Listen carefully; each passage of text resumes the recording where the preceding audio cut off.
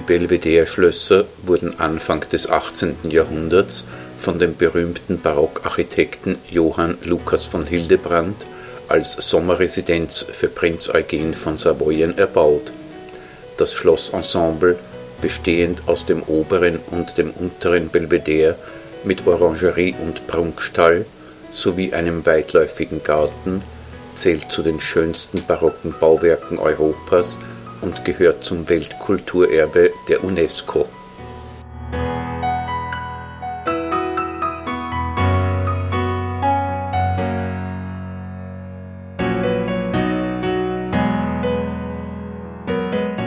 Der Plan zum Bau des oberen Belvedere in seiner heutigen Form ersetzte die primäre Idee einer Gloriette mit schönem Blick über die Stadt.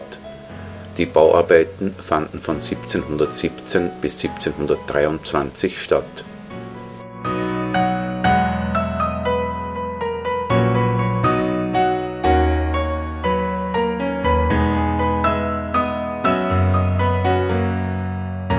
Die Sala Terrena oder Erdgeschosshalle wird durch vier mächtige Atlanten dominiert, die das reich stuckierte Deckengewölbe des Raumes stützen im Winter 1732/33 war die Decke des ursprünglich einheitlichen Gewölbes eingebrochen, so dass der Einbau der vier Stützen nötig geworden war. Die Sala Terrena öffnet sich zur Gartenseite des oberen Belvedere und leitet zur Prunkstiege über, sie ist Gartensaal und Vestibül in einem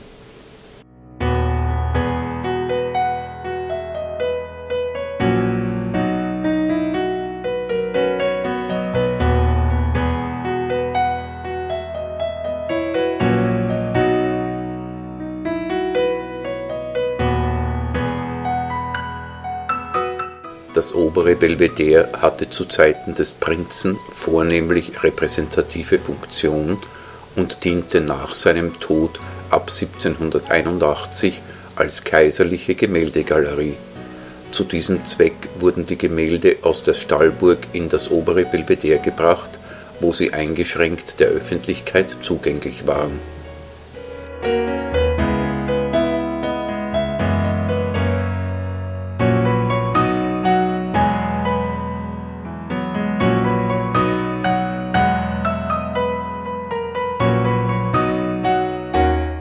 Zur Biedermeierzeit war das Belvedere nicht allein als Museum beliebt, sondern war auch ein Ort verschiedenster Veranstaltungen, von Feuerwerken über Zirkusdarbietungen bis zu Schaufahrten von Eskimos.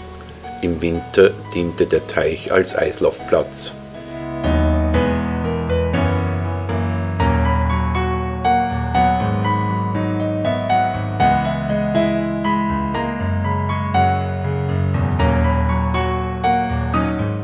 ursprüngliche Haupteingang befand sich an der Südseite des oberen Belvedere, kenntlich durch die Auffahrtrampen. Von dort konnte der Gast direkt über die Prunkstiege zum Hauptgeschoss des Schlosses aufsteigen. Auch von der Sala Terrena aus ist die Prunkstiege der Aufgang zum Obergeschoss.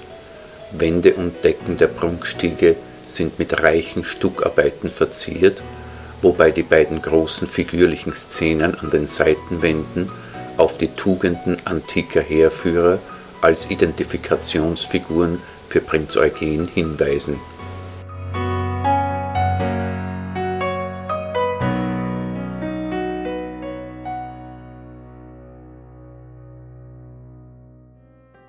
Der prächtigste Saal der Sommerresidenz ist der Marmorsaal im oberen Belvedere der von der Scheinarchitektur freigegebene Himmel zeigt ein das Haus Savoyen glorifizierendes Fresko von Carlone. Geschickt ist die Anbringung großer Spiegel, die das Deckengemälde so wiedergeben, als blicke man auf der Südseite ebenfalls in einen realen Himmel. Tatsächlich verbirgt sich dort ein Orchestergang. Heinitz von Heinzenthal führte 1723 die Porträts der im Besitz des Prinzen befindlichen Tiere und Pflanzen aus.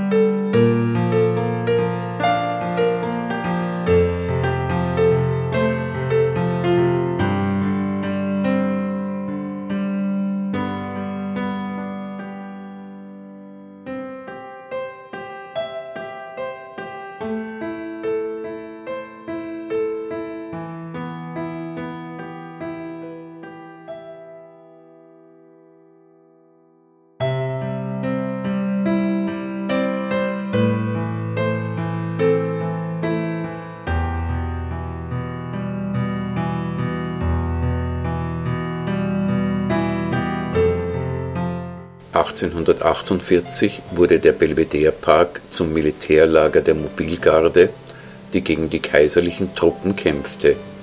Der damalige Direktor Johann Peter Kraft führte anschließend umfangreiche Restaurierungsarbeiten an der barocken Bausubstanz durch und schuf die heutigen Zugänge zu der Schlossanlage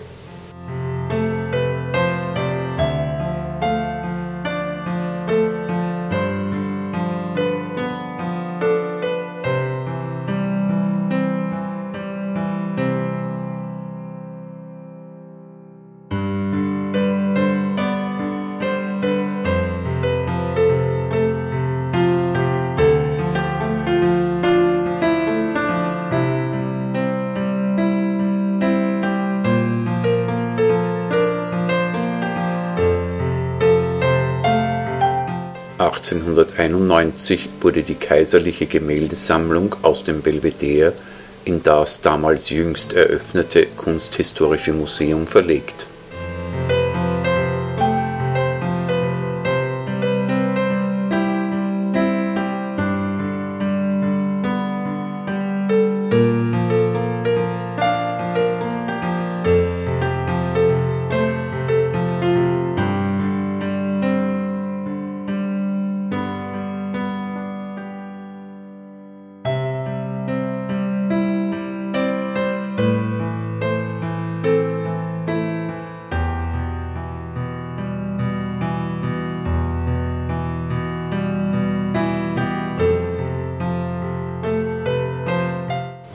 1897 wurde das obere Belvedere nach Plänen des Architekten Emil von Förster für den österreichischen Thronfolger Erzherzog Franz Ferdinand umgebaut und modernisiert, so dass die kaiserliche Familie ab 1899 hier wohnen konnte. Nach der Ermordung des Thronfolgers und seiner Frau in Sarajevo stand das Schloss leer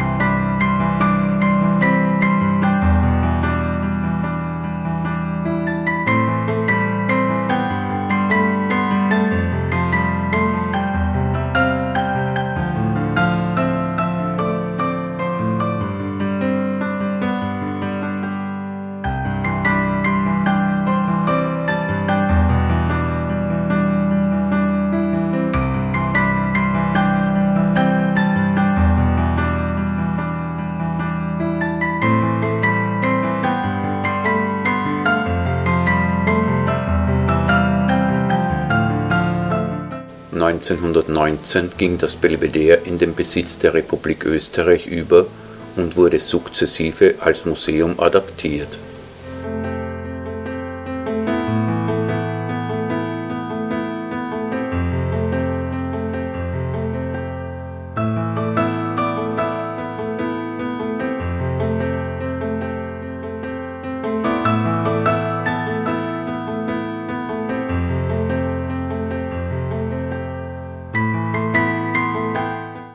1944 und 1945 kam es bei Luftangriffen zu schweren Schäden in beiden Schlössern, die nach dem Krieg umsichtig restauriert wurden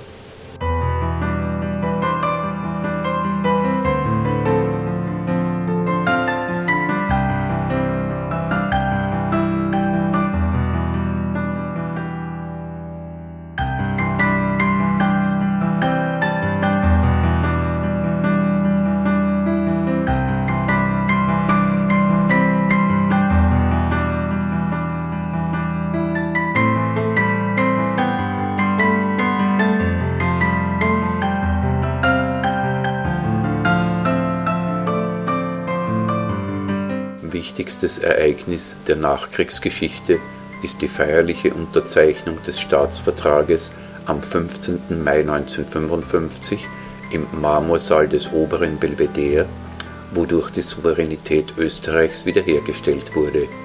Der Marmorsaal ist der zentrale Prunkraum des Oberen Belvedere und öffentlich zugänglich.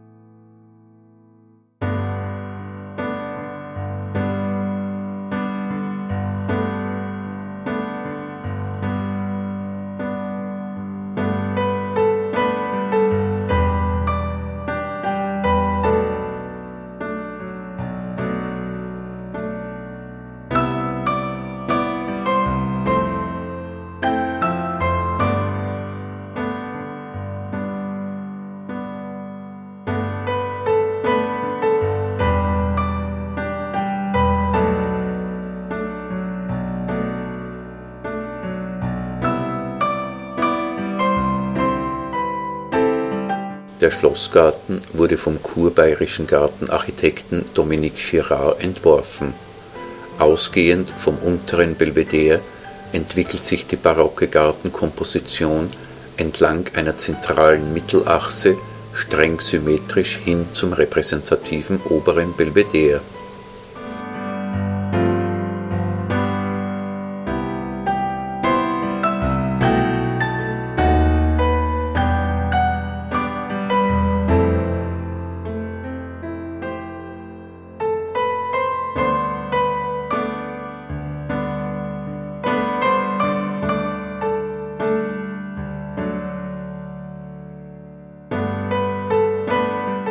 stereometrisch gestaltete Bäume und Hecken, Skulpturen und Wasserspiele gehören zur Ausstattung des nach französischem Vorbild erbauten Gartens. Neben der heute noch erhaltenen Orangerie befanden sich eine Voliere und eine Menagerie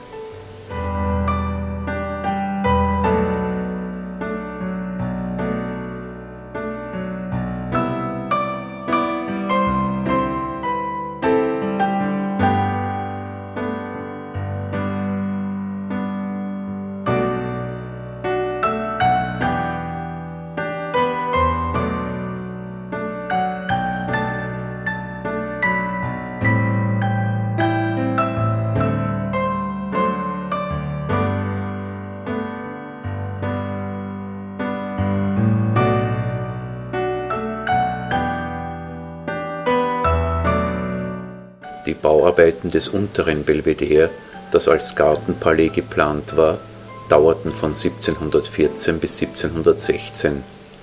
Der Zugang führt am Rennweg durch das Wappen und Initialen geschmückte Mitteltor in den Ehrenhof und von dort in den Marmorsaal.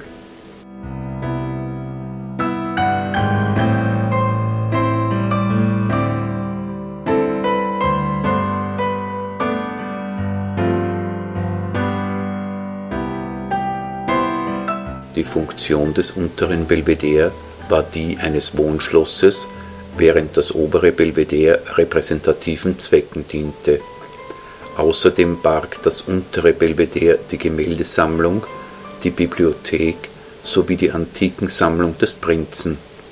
Die Sammlungen wurden nach seinem Tod 1736 veräußert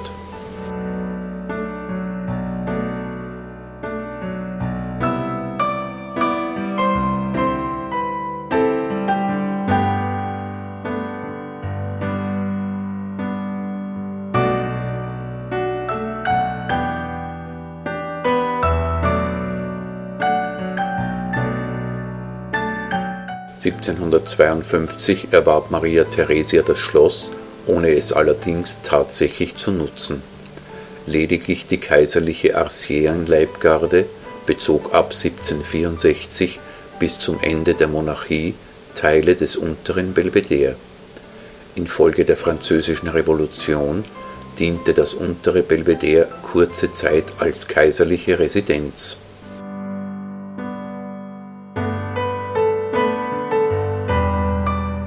Zwischen 1899 und 1914 lebte Erzherzog Franz Ferdinand mit seiner Familie im oberen Belvedere und brachte im unteren Belvedere nur die Militärkanzlei unter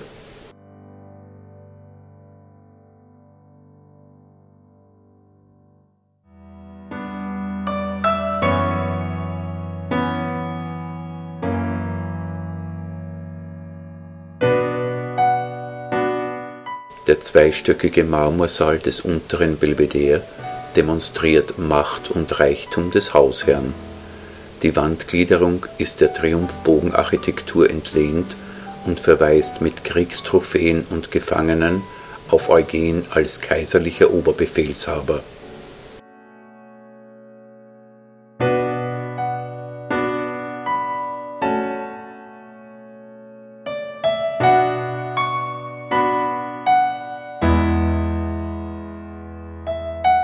Die ovalen Gipsmedaillons mit Szenen aus dem Leben Apolls heben seine schöngeistige Seite hervor.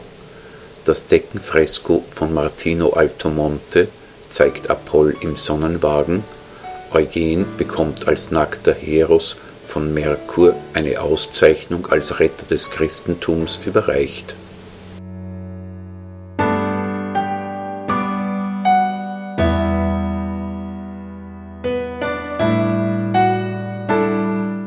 Der Groteskensaal war ursprünglich von der Gartenseite her zugänglich. Entsprechend der barocken Pavillongestaltung wurden Wände und Decken komplett bemalt. Diese Arbeit übernahm der auf Groteskenmalerei spezialisierte Jonas Trentwett aus Augsburg.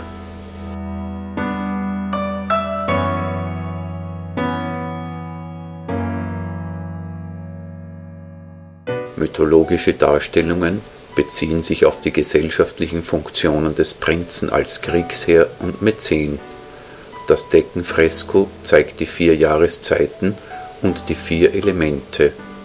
Beide Themenkreise symbolisieren den Kreislauf der Natur